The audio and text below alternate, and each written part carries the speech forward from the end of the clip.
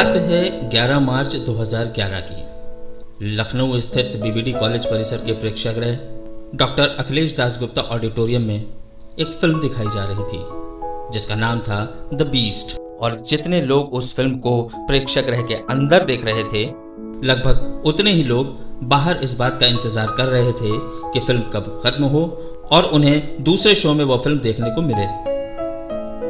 लोग उस प्रेक्षागृह में फ़िल्म को इसलिए नहीं देख रहे थे कि वह फ़िल्म बहुत अच्छी थी, बल्कि उन्हें इस फ़िल्म को देखने की उत्सुकता इसलिए थी क्योंकि फ़िल्म के निर्देशक ने एक महीने पहले ही अपने क्रिएटिव टीम के साथ फ़िल्म से रिलेटेड एक ऐसा हाइप क्रिएट किया था, जिससे लोग इस बात को जानने के लिए बेकरार थे कि आखिर फ़िल्म बनी कैसे। अपने दमदार कंटेंट की वजह से फ़िल्म दर्शकों द्वारा बहुत सराही गई। और उसी का नतीजा यह था कि जब फ़िल्म के निर्देशक एस के प्रसाद ने कॉलेज मैनेजमेंट के सामने अपनी एक दूसरी फ़िल्म बनाने का प्रस्ताव रखा तो कॉलेज मैनेजमेंट ने बड़ी आसानी से उनका प्रस्ताव स्वीकार कर लिया। फ़िल्म शुरू हो गई। फ़िल्म का नाम था भारत। वो एक ऐसा समय था कि उस समय पूरे बीबीडी परिसर में एक ही नाम की चर्चा थी और वो नाम था एस के प्रसाद। और ये उसी का असर था कि कॉलेज परिसर का हर वह व्यक्ति, चाहे वो स्टूडेंट हो स्टाफ हो फैकल्टी हो, या मैनेजमेंट से जुड़ा कोई भी आदमी हो, हर कोई फ़िल्म भारत का हिस्सा बनना चाहता था। मगर कई बार चीज़ें जितनी अच्छी दिख रही होती है, उतनी अच्छी होती नहीं। और एक दिन कॉलेज मैनेजमेंट के कहने पर एस के प्रसाद को फ़िल्म भारत बंद करनी पड़ी। क्यों बंद करनी पड़ी? इस बात का कारण एस के प्रसाद आज तक नहीं जान पाए। मगर उनके इस प्रयास से उन्हें एक सफलता ज़रूर मिली कि उनके पास एक ऐसी टीम तैयार हो गई थी जो उनके साथ फ़िल्म बनाने के लिए काम कर सकती थी। और उसी टीम ने मिलकर एक संस्था का निर्माण किया, जिसका नाम था सार्थक सांस्कृतिक सोसाइटी। 2011 का साल बदलते ही एस के प्रसाद की ज़िंदगी में भी एक बहुत बड़ा बदलाव आया और एस के प्रसाद कॉलेज में धीरे धीरे गुमनाम होते गए। लेकिन जैसे जैसे वो कॉलेज में गुमनाम हो रहे थे, वैसे वैसे बाहर में उनका नाम हो रहा था। और उसी का नतीजा ये हुआ कि एस के प्रसाद ने अपनी संस्था सार्थक सांस्कृतिक सोसाइटी के बैनर तले बाराबंकी में एक फ़िल्म खुशबू का निर्माण शुरू किया। और फ़िल्म बनाने के कुछ महीनों के बाद ही उन्होंने लखनऊ में पहली बार अपनी शॉर्ट फ़िल्म खुशबू का मीडिया प्रीमियर शो किया। ऐ मेरे खुदा, तेरी क्या नाइंसाफी है? किसी को सजा किसी को माफ़ी है। मुझको मैं बनाकर सितम की हद न कर मैं औरत हूँ। मेरी ये सजा ही काफ़ी है।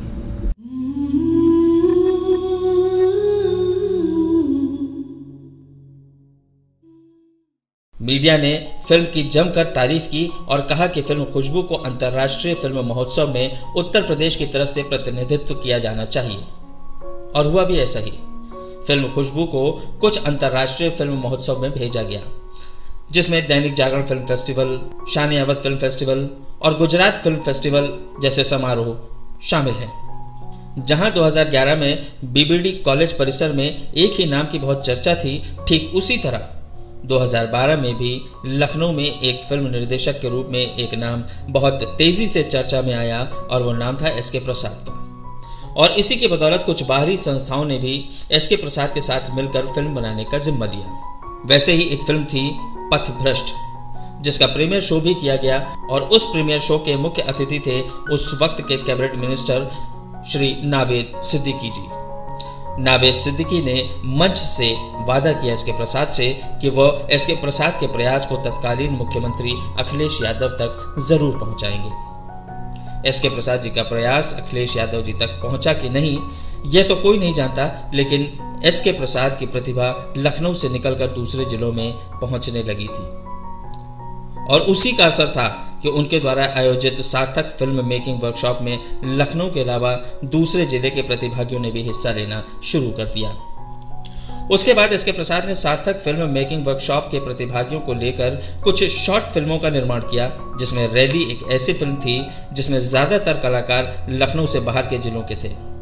सार्थक फ़िल्म मेकिंग वर्कशॉप के दौरान ही बनी दो अन्य फ़िल्में, संदेश और नीर। ये सभी फ़िल्में सार्थक सांस्कृतिक सोसाइटी द्वारा आयोजित सार्थक फ़िल्म फेस्टिवल में बहुत सराही गई और चर्चा का विषय रही। और 2012 से लेकर 2015 तक आते आते एस के प्रसाद उत्तर प्रदेश के प्रतिभावान निर्देशकों में गिने जाने लगे। मगर एक बार फिर परिस्थितियाँ उनके खिलाफ होती चली गई और मुद्दा था उन्हीं के द्वारा बनाई गई फ़िल्म तृष्णा। फ़िल्म का निर्माण बहुत ज़ोर शोर से शुरू किया गया, लेकिन पूरी शूटिंग होने के बाद फ़िल्म जब अपने फाइनल एडिटिंग स्टेज पर थी, अचानक फ़िल्म की रॉ मटेरियल जिस हार्ड डिस्क में रखी गई थी, वो हार्ड डिस्क खराब हो गई। और लाख कोशिशों के बावजूद भी डाटा रिकवरी नहीं हो पाई, जिसकी वजह से फ़िल्म के कई हिस्सों को दोबारा शूट करना पड़ा। एक पूरे एडिटिंग प्रोसेस को भी दोबारा किया गया, जिसकी वजह से फ़िल्म बनने में लगभग तीन साल का समय लग गया। फ़िल्म तकनीकी रूप से काफ़ी पुरानी हो चुकी थी। फ़िल्म का कंटेंट भी पुराना हो चुका था। उसके बाद फ़िल्म के निर्देशक एस के प्रसाद ने फ़िल्म से जुड़े हुए लोगों से कहा कि फ़िल्म के कुछ हिस्सों की शूटिंग दोबारा की जाए। और उसे नए कलेवर के साथ पेश किया जाए। मगर तब तक फ़िल्म से जुड़े कलाकारों का फ़िल्म से मोहभंग हो चुका था, जिसकी वजह से एस के प्रसाद को फ़िल्म बंद करनी पड़ी और उस वक्त इस फ़िल्म से बहुत से लोग जुड़े हुए थे, जिनको जवाब देना एस के प्रसाद को बहुत मुश्किल हो रहा था। उसी वक्त एस के प्रसाद अपनी कुछ व्यक्तिगत समस्याओं से भी घिरे हुए थे। नतीजा ये हुआ कि एस के प्रसाद भीतर ही भीतर टूटते गए। वह दौर उनकी ज़िंदगी का वो दौर था, जहाँ वे अपने आप को रोज टूटता हुआ पाते थे। और जितने कम समय में और जितनी तेज़ी से उन्होंने उत्तर प्रदेश में अपनी पहचान बनाई थी, उतनी ही तेज़ी के साथ एस के प्रसाद गुमनामी के अंधेरे में गुम होते चले गए। लेकिन अभी भी कुछ लोग ऐसे थे जो उनके व्यक्तित्व और उनकी प्रतिभा से बहुत प्रभावित थे। और उनके साथ जुड़कर अभी उनके साथ काम करना चाहते थे। और उन्होंने ही मिलकर उनके साथ 2015 में सार्थक फ़िल्म मेकिंग वर्कशॉप में हिस्सा लिया और शॉर्ट फ़िल्म सारथी का निर्माण किया। इसी बीच उनकी फ़िल्म रिस्पॉन्सिबिलिटी के लिए उन्हें यूपी फ़िल्म फेस्टिवल में सर्वश्रेष्ठ निर्देशक का सम्मान मिला।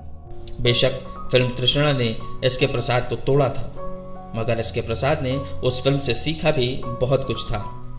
और उसी का नतीजा था कि अब उन्होंने फीचर फ़िल्म बनाने का जिम्मा लिया तो वह पूरी योजनाबद्ध तरीके से लिया। और बहुत कम समय के अंदर उन्होंने एक फीचर फ़िल्म महारिब का निर्माण कार्य पूरा कर दिया। लेकिन फ़िल्म के प्रदर्शन की प्रक्रिया ज़रा लंबी और मुश्किल थी। जो अकेले और संसाधनहीन इंसान के लिए आसान नहीं थी। तो इस बीच उन्होंने एक म्यूज़िक वीडियो, तेरी सूरत का निर्माण किया, जो कि फ़िल्म महारिब का प्रमोशन गीत थे। इसे लोगों ने बहुत पसंद भी किया। 2018 आते आते एस के प्रसाद ने अपनी ज़िंदगी का एक बहुत बड़ा डिसीज़न लिया। और अब वो बीबीडी की जगह बाराबंकी स्थित जहांगीराबाद मीडिया इंस्टीट्यूट का एक हिस्सा बने। जहाँ पर वे बतौर निर्देशक बच्चों को फ़िल्म निर्माण का प्रशिक्षण दे रहे थे। और इसी दौरान उन्होंने कुछ शॉर्ट फ़िल्में बनाई थीं, जिनके नाम हैं हैप्पी बर्थडे परसेप्शन विनायक और रहबर इसी दौरान उनकी फीचर फ़िल्म महारिब का सेंसर सर्टिफिकेट भी प्राप्त हो चुका था। लेकिन बहुत ही जल्दी उन्हें इस बात का एहसास हो गया था कि उनके लिए जितना मुश्किल सेंसर सर्टिफिकेट लेना था, उससे कहीं ज़्यादा मुश्किल था फ़िल्म महारिब को रिलीज़ करना। वो एक ऐसी चुनौती से लड़ रहे थे जिसमें उनके जीतने की उम्मीद लगभग ना के बराबर थी। मगर वे हार नहीं माने और अपना प्रयास जारी रखा। इसी बीच निराशा और अवसाद झेल रहे उनके पिता एवं सार्थक सांस्कृतिक सोसाइटी के संस्थापक स्वर्गीय सूर्यानंद सूर्याकर जी का देहांत हो गया। वो वक्त उनके लिए काफ़ी मुश्किल था। मगर उनका संघर्ष जारी रहा और आखिर उनकी मेहनत रंग लाई। और उनकी फ़िल्म महारिब सिनेमा हॉल में रिलीज़ हुई। यहाँ एक बात उल्लेखनीय है कि फ़िल्म महारिब का पूरा निर्माण कार्य उत्तर प्रदेश में संपन्न हुआ था। और ऐसे फ़िल्म का पीवीआर से रिलीज़ होना अपने आप में एक महत्वपूर्ण बात थी। जिस किसी ने भी महारिब देखी उन्होंने जितनी तारीफ़ फ़िल्म की की, उतनी ही एस के प्रसाद के प्रयास की भी की। महारिब के ज़रिए वे उस चीज़ को साबित कर चुके थे, जिसके लिए लोगों ने उनकी बहुत आलोचना की थी। मगर उन्हें अपनी जीत तो मिल गई थी, लेकिन जीत को पाने के दौरान वे बहुत कुछ हार चुके थे। उन्हीं में से एक थे उनके पिता सूर्यानंद सूर्याकर जी। एस के प्रसाद बचपन से ही अपने पिता के बहुत करीब थे। और सूर्यानंद सूर्याकर जी भी एस के प्रसाद से बहुत उम्मीद रखते थे, जिन्हें प्रसाद जी ने पूरा भी किया। मगर तब तक उनके पिता उनके जीवन में नहीं रहे। अपने पिता के उत्तरार्ध जीवन का संघर्ष उन्होंने बहुत करीब से देखा। इसलिए उन्होंने पिता सम्मान में उम्मीद नाम की एक श्रृंखला शुरू की, जिसमें संसाधन विहीन लेखकों को अच्छी कहानियों पर शॉर्ट फ़िल्म बनाने का जिम्मा दिया। और उम्मीद की पहली कड़ी में युवा लेखक नृपेंद्र सिंह की कहानी पर फ़िल्म जनेऊ और अमित चौधरी की कहानी पर फ़िल्म सार्वजनिक बनाई। विनोद सांखला, कलमकार की कहानी पर मर्द तो विनय कुमार मिश्रा की कहानी पर आधारित फ़िल्म होली बनाई। लॉकडाउन से पहले वे महेंद्र भीष्म की कहानी पर आधारित फ़िल्म त्रासदी की शूटिंग पूरी कर चुके थे, जो अब लगभग बनकर तैयार है। एक और जहाँ उनकी पहली web series, Ishq chronicles, release होने वाली है। वहीं दूसरी तरफ़, वह अपने पिता सूर्यानंद सूर्याकर की कहानी पर आधारित फीचर फ़िल्म अंतिम संस्कार की शूटिंग दोबारा शुरू करने के इंतज़ार में है। वहीं लॉकडाउन के दौरान उनकी बनाई गई डॉक्यूमेंट्री, संकट में एंटरटेनमेंट, मजबूर, मजदूर करुणा की कहानी पार्ट वन और पार्ट टू और डार्क डेज़ यूट्यूब पर काफ़ी पसंद किए जा रहे हैं। आखिर क्या है उनके अंदर जो उन्हें दूसरों से अलग बनाता है? सबसे पहली चीज़ ये कि अभी तक उन्होंने जितनी भी रचनाएँ लिखी हैं, सबका मूल भाव या तो किसी सामाजिक समस्या को उजागर करना है या फिर कोई ना कोई संदेश देना है। और ठीक यही बात उनकी फ़िल्मों के लिए भी लागू होती है। यानी वो अपने स्तर पर सामाजिक सेवा कर रहे हैं। दूसरी बात ये कि उन्होंने अपने मकसद के लिए कभी भी पैसे को आड़े नहीं आने दिया।